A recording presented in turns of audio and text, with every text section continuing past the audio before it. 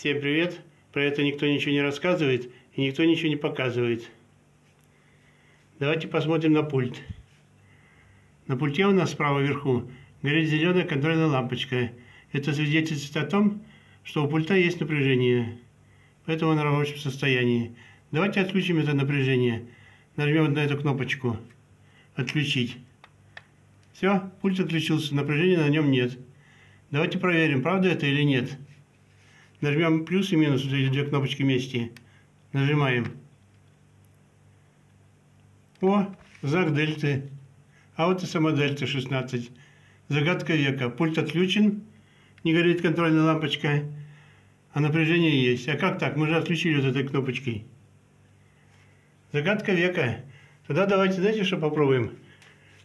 Открыть кран горячей воды. И посмотрим, заработает котел или нет. Вот открыли кран горячей воды. Котел молчит, полная тишина. При этом пульт у нас выключен. Стабилизатор включен. И вилка в розетке. И газ открыт у нас. Ничего не работает. Но раз ничего не работает, тишина в котле, то мы тогда закрываем горячую воду И включаю дип-1 на плате. Сейчас, минуточку, чтобы вам было хорошо видно. Вот, я включил дип-1. Минуточку. Давайте посмотрим, что произойдет. Дип-1 включился. О!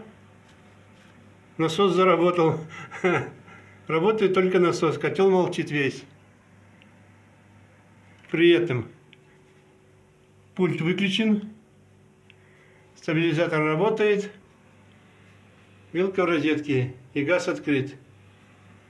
Так, и насос. Насос у нас работает, шумит. И так он будет шуметь 2 часа и гонять воду по системе отопления по всей квартире. А вот этот воздухоотводчик с серым колпачком будет выпускать воздух из системы отопления. И все это будет длиться 2 часа. Затем насос остановится, и все будет нормально, не будет воздуха в системе отопления. И можно будет выключить дип-1. Сейчас, минуточку. Вот видите, дип-1 включен. Давайте его выключим.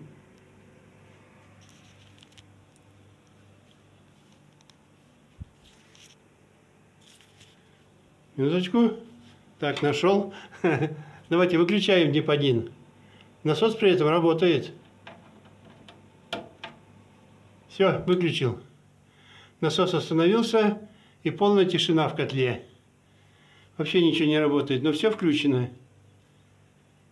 Давайте сейчас включим пульт и посмотрим, что будет дальше. Будет ли насос, ну, котел работать. Давайте, включаем пульт. Так, все. Сейчас посмотрим, что будет дальше. Тишина. Давайте добавим температуру по помещению. Вот, сейчас должен заработать котел по температуре помещения. Давайте подождем. Все, заработал.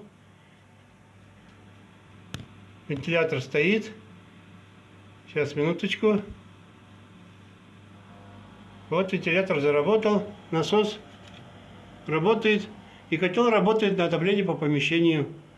Все нормально. Давайте посмотрим. Пульт у нас включен. Стабилизатор включен. Вилка в розетке. Кран газа открыт. Все. Всем пока.